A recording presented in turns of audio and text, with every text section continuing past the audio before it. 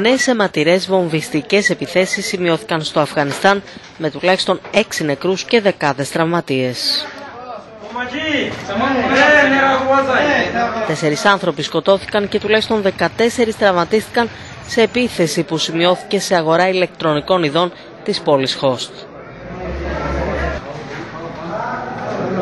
Η βόμβα πυροδοτήθηκε από απόσταση μέσω κινητού τηλεφώνου.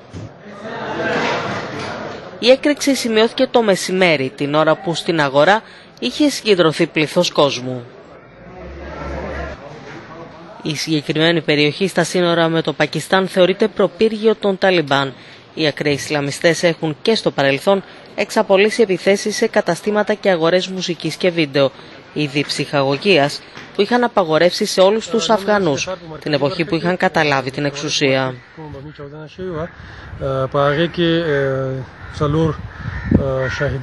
Όπως ανακοίνωσε η αστυνομία, άλλοι δύο άνθρωποι σκοτώθηκαν στην ανατολική επαρχία Λαγκμάν.